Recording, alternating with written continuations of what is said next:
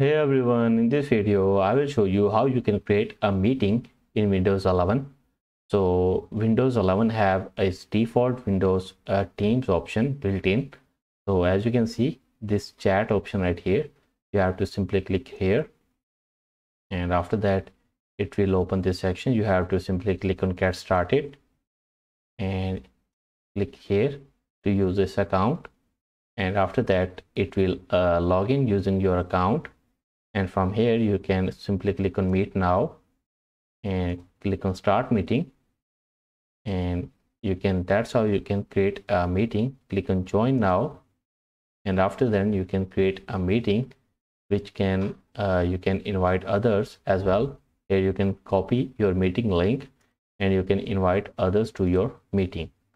So that's how you can create a meeting in windows 11 so thanks for watching See you in the next video.